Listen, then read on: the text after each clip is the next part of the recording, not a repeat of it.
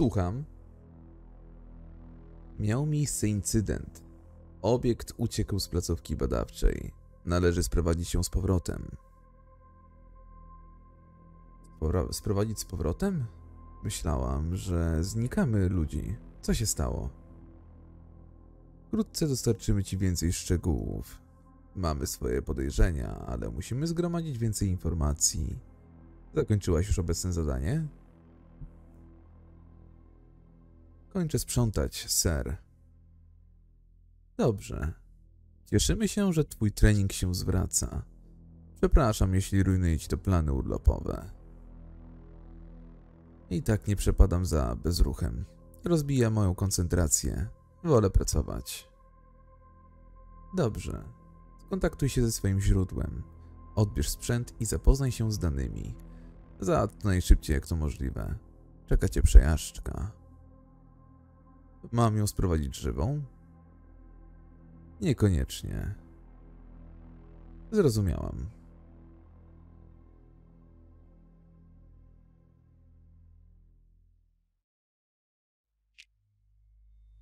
Witam Was, moi drodzy, serdecznie. Z tej strony Shira, witam Was w nowej serii o nazwie Perseverance. To jest e, part pierwszy w tej chwili. Jest to gra typu point and click, coś a la Katie Rain, mm, tylko podzielona na party jak The Walking Dead. Nie wiem, czy kojarzycie taką grę.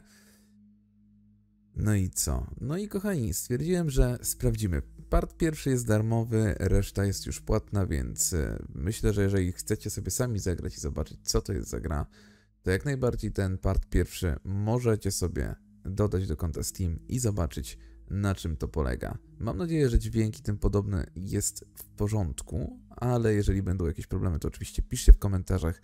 Postaram się to poprawić na następne odcinki. A teraz zacznijmy po prostu nową grę. Ten produkt może zawierać treści nieodpowiednie dla waszych grup wiekowych, dla wszystkich grup wiekowych. Mam na imię Jack. Nie martw się, nie musisz tego pamiętać. I tak niedługo umrę. Nie piszę tych słów, aby mnie zapamiętano. Chcę po prostu wyjaśnić to, jak skończyliśmy w tym takim stanie, jak ludzkość, jak ludzkość upadła, jak to się stało, że byłem świadkiem tego wszystkiego. Szczerze mówiąc, byłem akurat w pobliżu, gdy rzeczy zaczęły wymykać się spod kontroli. Byłem prostym gościem, urodzonym w górach. Zawsze ciągnęło mnie do dziczy i przestrzeni. Jednak hmm, moi rodzice chcieli, żebym poszedł na studia. Ciężko pracowali i oszczędzali tylko po to, by wysłać mnie na uczelnię. Nie miałem serca im odmówić. Jeżeli wynikło z tego cokolwiek dobrego, to była to Natalii. Kiedy pierwszy raz ją ujrzałem, myślałem, że to anioł, który spadł z nieba. Za każdym razem, kiedy się całowaliśmy, czułem się jak w raju. Świat zdawał się stać przede mną otworem, dopóki inna siła nie sprowadziła mnie na ziemię. U mojego ojca stwierdzono nieuleczalny przypadek raka. Wróciłem do domu, z powrotem do Greyville, miasteczka na końcu świata. Jedynym, co trzymało to miejsce przy życiu, była pobliska baza wojskowa. Nikt tak naprawdę nie wiedział, co się tam działo, ale ludzie uwielbiali snuć domysły. Mówili, że wojskowi przeprowadzili tam eksperymenty na ludziach, albo że trzymali tam rozbite UFO. Pomysły, które sprawiały, że dzieciaki szły podglądać ku przerażeniu ich rodziców. Zbaczam z tematu. To, co musisz wiedzieć, to to, że mój ojciec zmarł. Zostałem sam w małym miasteczku bez żadnego wykształcenia. Roboty u wojskowych nie dostałem, a innych opcji za wiele nie było. Na szczęście, mój anioł o mnie nie zapomniał.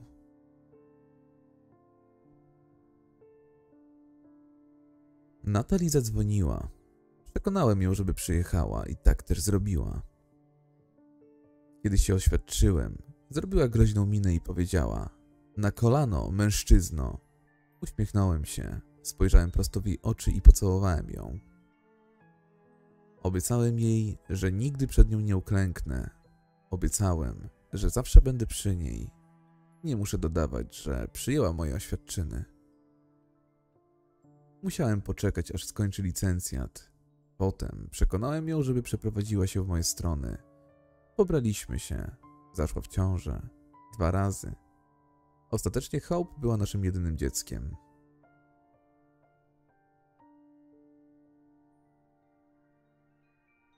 Dziesięć lat później żyłem już z innym rodzajem anioła. Natalii stała się aniołem śmierci, który chciał moją męskość na srebrnej tacy. Jak skończony dureń, nie dbałem o nic.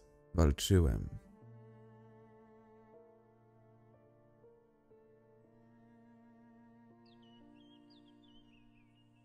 Czyś ty zupełnie zwariował?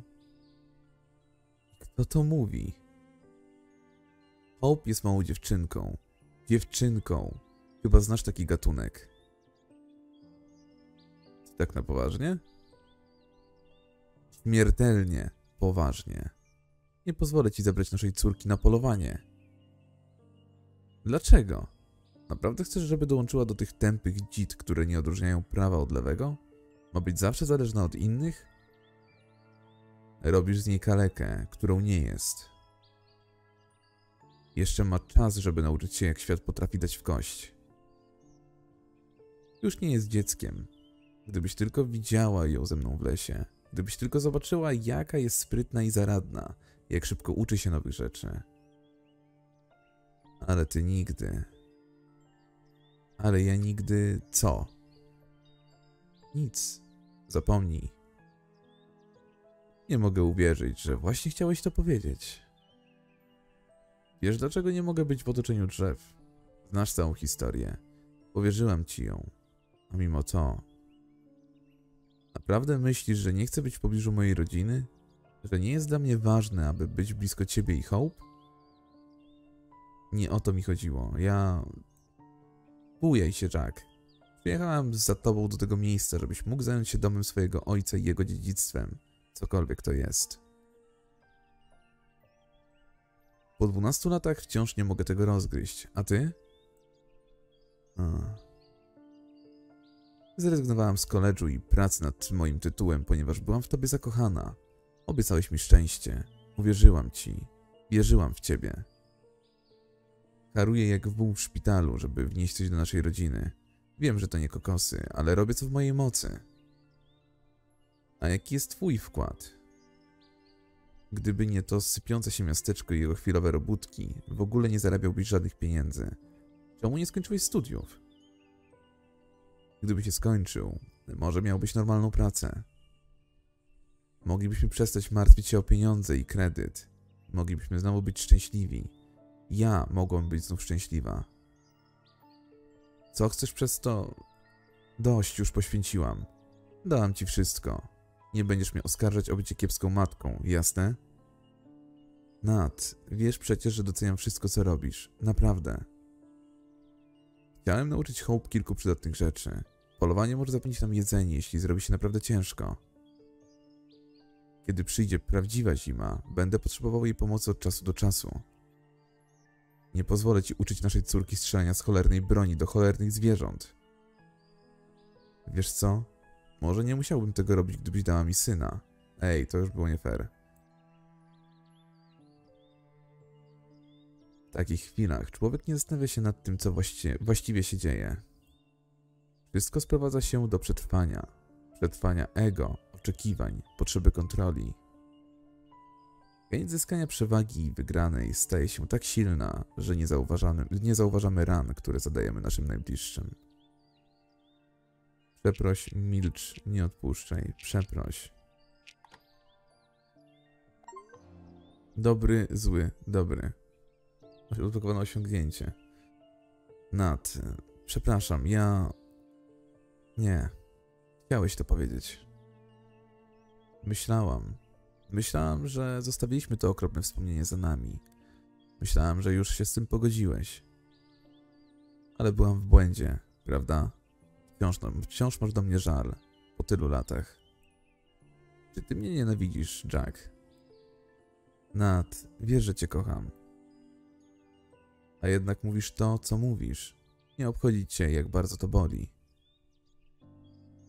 Ach. Mam dość. Potrzebuję chwili z od ciebie. Wiem, że nie zmienię twojego zdania odnośnie polowania. Zrobisz jak uważasz. Tylko uważaj na naszą córkę. Jest wszystkim, co mam. Hmm. Nie powinienem być. E, nie powinienem był być dla niej taki szorstki. Prawdopodobnie powinienem był pojechać sam i nigdy nie poruszać tego tematu. Nie spodziewałem się, że będzie z tego taka afera. Gdzie są moje kluczyki? Muszę się zbierać. Co ja powiem, Hope? Już jej obiecałem.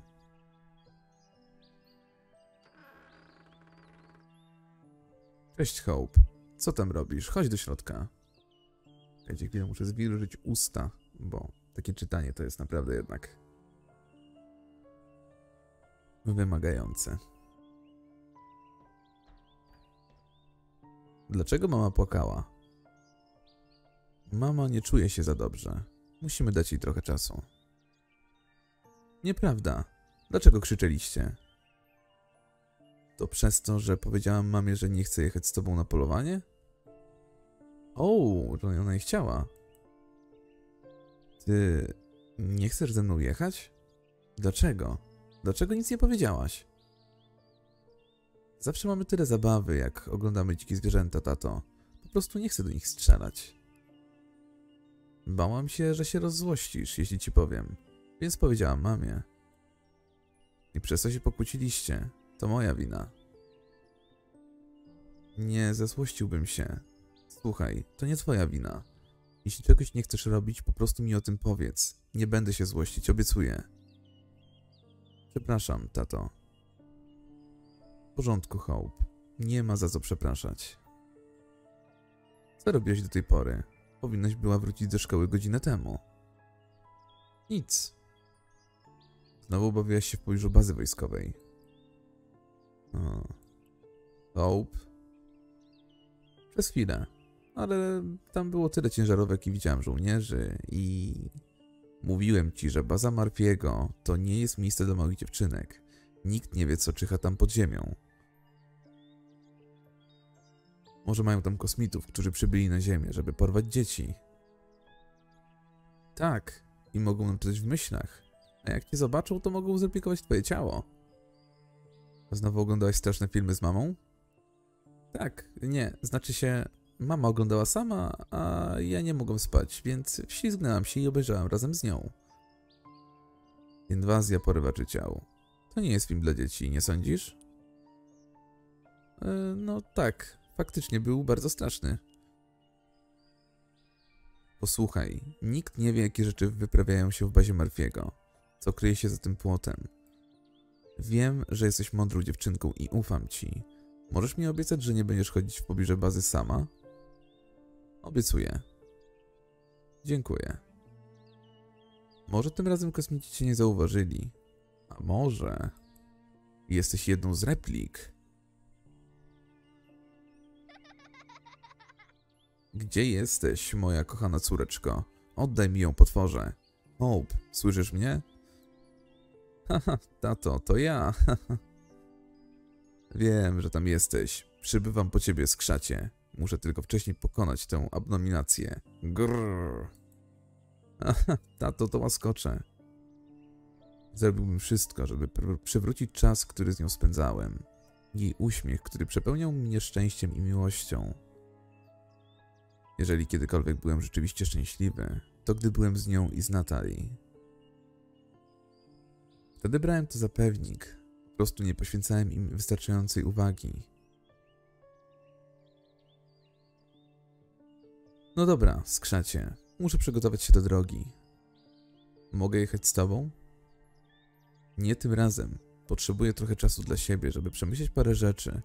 Wierz mi, to będzie bardzo, ale to bardzo super nudne. Ale weźmiesz mnie jeszcze ze sobą kiedyś, prawda?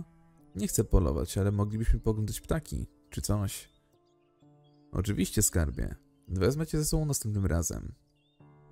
Super. Będę mogła zabrać pana królika? Jasne. Jak długo będziesz mieć na niego oko? Gdzie on się podział? Nie wiem, chyba znów go zgubiłam.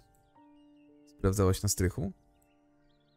Nie, nie lubię chodzić tam sama. Jak wrócę, to pójdziemy poszukać go razem. Zgoda? Obiecujesz? Obiecuję. Zgoda. Pójdę teraz do mamy. Jest chyba w kuchni. Ciekawe, co tam takiego pichci. Pewnie przygotowuje coś dla ciebie, tato. Tak sądzisz? Czasami zastanawiam się, dlaczego twoja matka trzyma się z takimi, takim facetem jak ja. Bo cię kocha. A skąd to wiesz, panno detektyw? Bo mi powiedziała. Ja też cię kocham, tato. A ja ciebie, skarbie. Ale już, biegnij. Tylko pamiętaj, żeby posprzątać pokój, zanim wrócę. Tato? Tak, skrzacie? Naprawdę wolałbyś mieć syna zamiast mnie? Hope, ja... W porządku, tato. Pójdę zobaczyć, co robi mama. Nie martw się, posprzątam pokój, zanim wrócisz. To było nie fair. Kiedy odchodziła, dostrzegłem w jej oczach łzy. Nie miałem pojęcia, jak wielką szkodę wyrządziłem tamtego dnia. Nadal zastanawiam się, co za okrutna siła sprawiła, że zachowywałem się jak drań w stosunku do mojej własnej rodziny.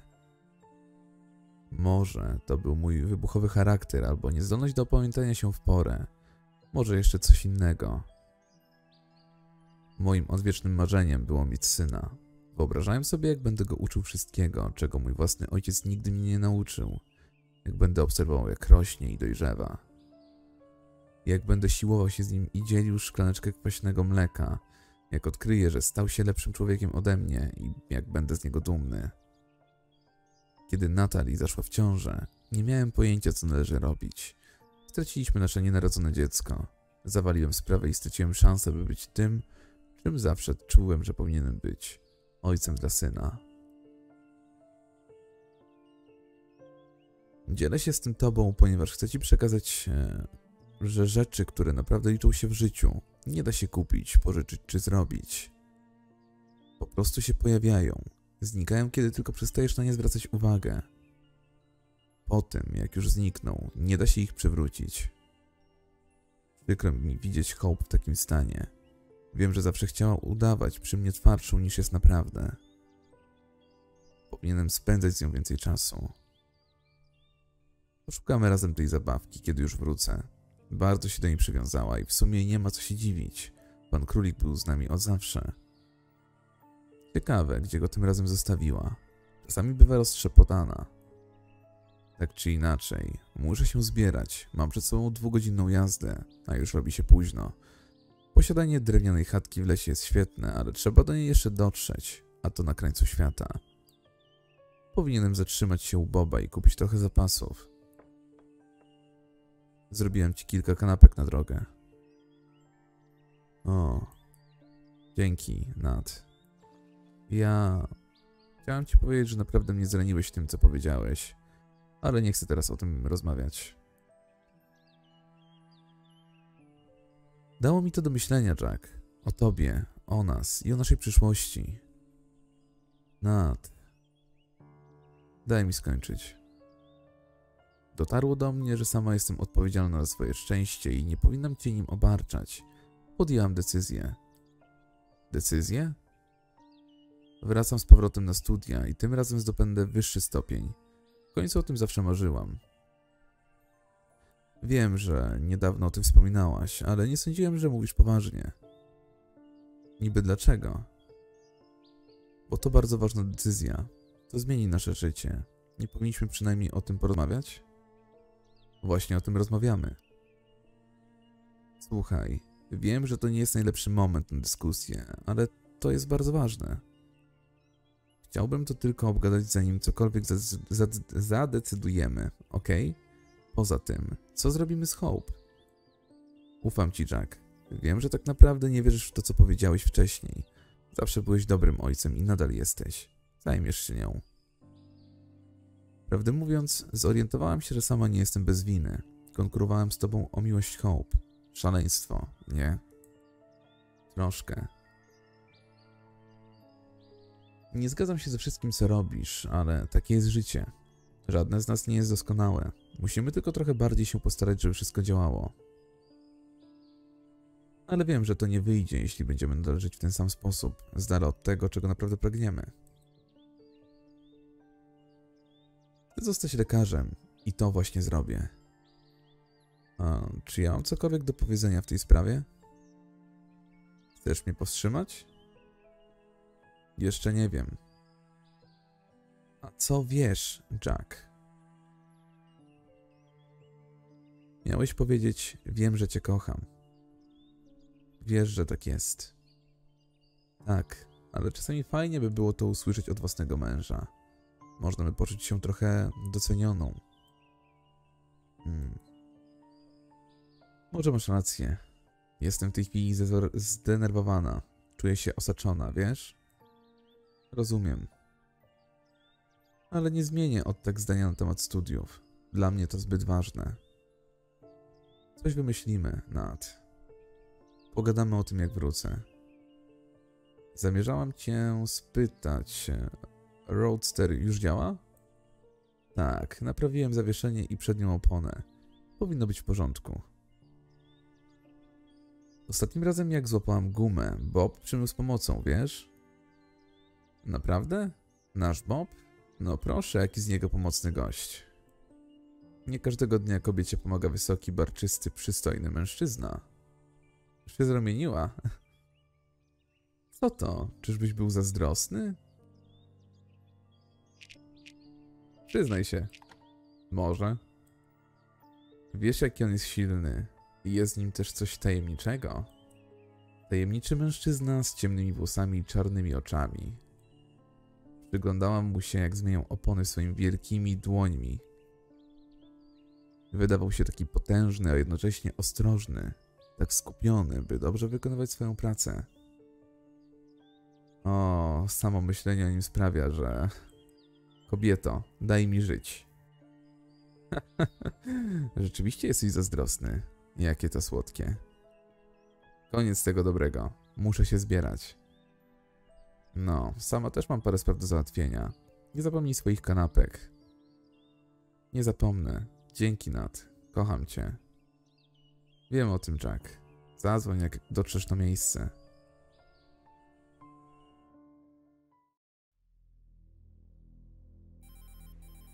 Gdzieś indziej.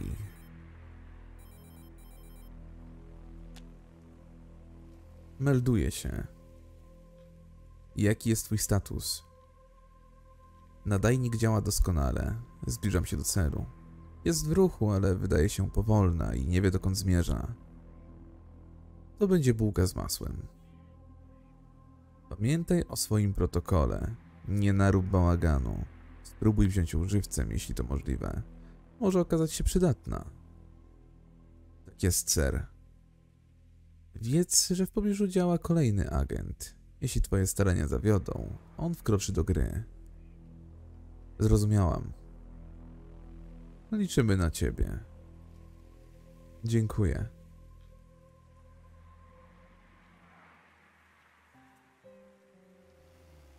Piątek, 17.42. Stacja Boba. Prawie wszystko, czego potrzebowałem, było w mojej chatce, ale musiałem dokupić parę rzeczy. Zdecydowałem zatrzymać się u Boba. Nie chciało mi się wałęsać po supermarkecie. Zresztą tylko u niego szło kupić paliwo w promieniu 40 km. Poza tym, lubiłem właściciela. Bob nie był jego prawdziwym imieniem, ale tak się zawsze przedstawiał. Powiedział mi raz swoje prawdziwe imię, ale nie mogłem go nawet wymówić. Jego sklep był też jedynym miejscem, gdzie można było dorwać porządną gorzałkę. Pokusa nie dawała mi spokoju, gdy zbliżałem się do drzwi. Biłem się z myślami. Z jednej strony, alkohol z pewnością pomógłby mi się odprężyć. Z drugiej, musiałbym wydać wszystkie moje pieniądze, a i tak nie miałem ich za wiele.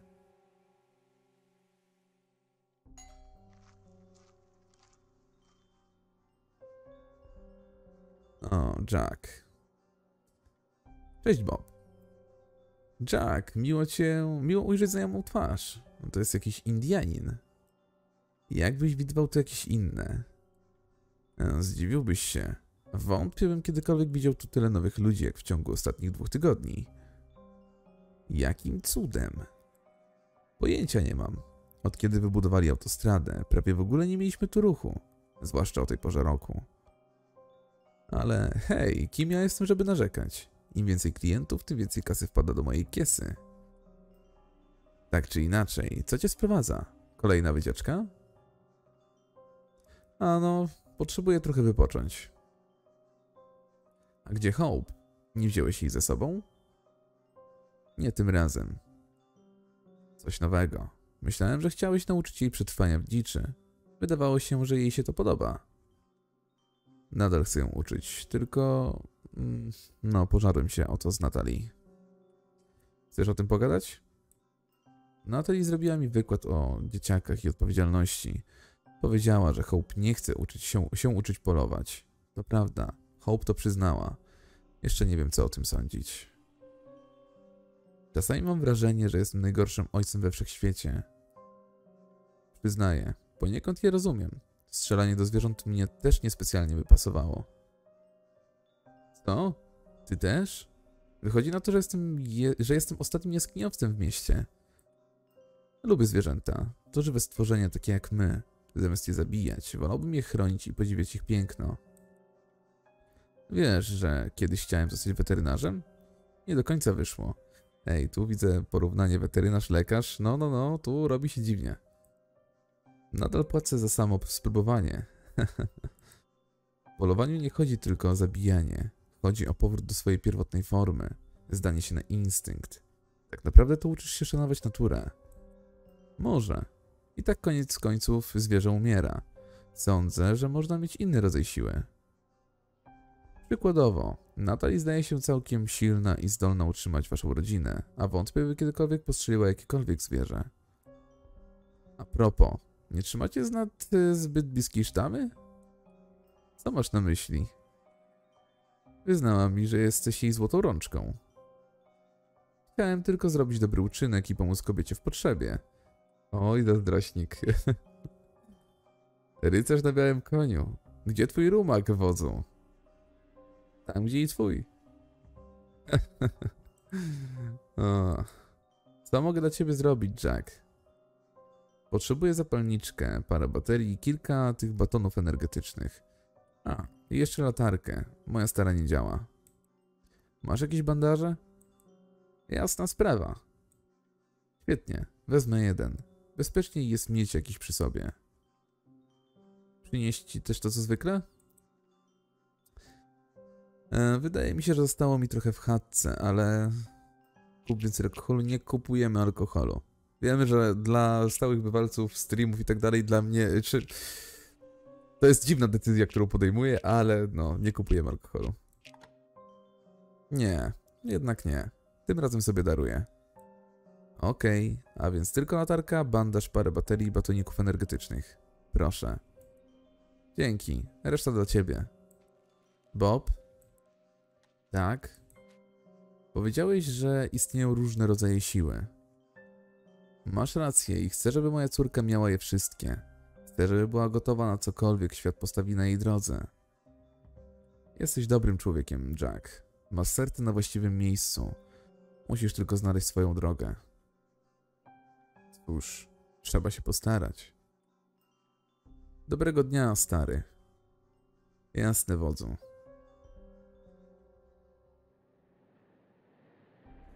Piątek 18.05, stacja Boba. Miałem wszystko, czego potrzebowałem. Zamierzałem udać się prosto do mojej chatki, zostawić wszystkie zmartwienia za sobą na jakiś czas. Chciałem skupić się na czymś innym. Właśnie pakowałem moje nowe zapasy do samochodu, kiedy dostrzegłem coś dziwnego. Młoda kobieta wlokła się bokiem jezdni. W pierwszej chwili przykuła moją uwagę tylko dlatego, że szła z zewnątrz miasta. Im dłużej na nią patrzyłem, tym dziwniejsze mi się, dziwniejsze mi się to wydawało. Mm, tak trochę wydaje się dziwna. Wyglądała na około 30 lat, jednak ubrana była bardziej jak nastolatka. Byłem prawie pewien, że nie jest z miasta ani okolicy. Nie potrafiłem wymyślić, co mogę robić całkiem sama w takim miejscu.